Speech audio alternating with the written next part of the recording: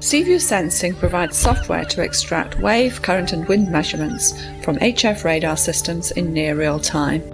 Radio waves transmitted across the sea are scattered from the ocean surface by ocean waves.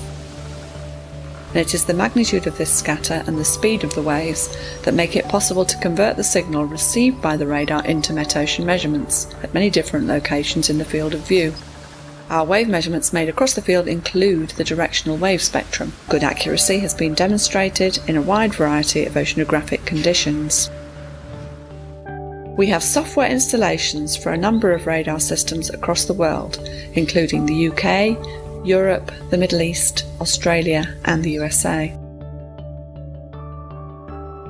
These radars are usually located on the coast, so the equipment is easy to service and maintain, is not at risk to shipping or fishing, and provides a good long term data solution.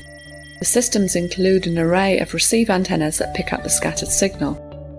Two radars looking at the same patch of sea from different directions are required for most measurements.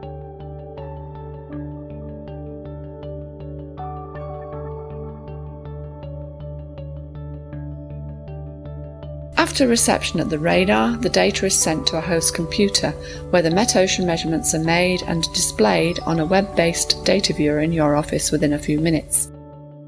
This example shows wave height and direction off the coast of Florida obtained with the WERA HF radar system operated by the University of Miami. Gaining concurrent long term wave, wind, and current data over a large area may help in feasibility studies, system design and specification, installation and operations for coastal and offshore structures such as marine renewables devices.